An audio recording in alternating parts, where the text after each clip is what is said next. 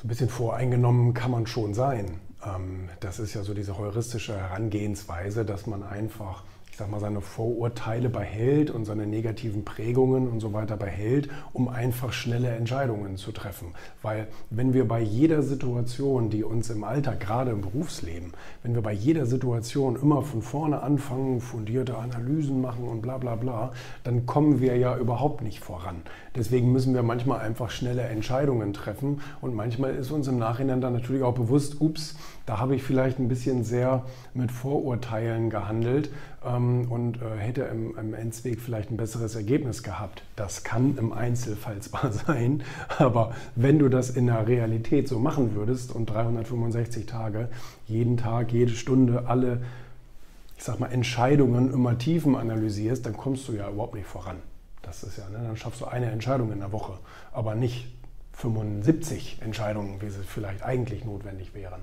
Von daher, ja, ähm, das Vorurteil bestätigt sich aber ja eben oft auch. Ne? Wenn du jetzt zum Beispiel daran gehst, ähm, blödes Beispiel, keine Ahnung, Unternehmensberater, der 22 ist. Ja, wie viele Unternehmen hat er in seinem Leben von innen gesehen? Vielleicht ist er das eine Ausnahmetalent in Europa, der wirklich tolle Analyse machen kann und irgendwie tolle Unternehmensberatung kann alles sein, aber die Wahrscheinlichkeit ist einfach sehr gering.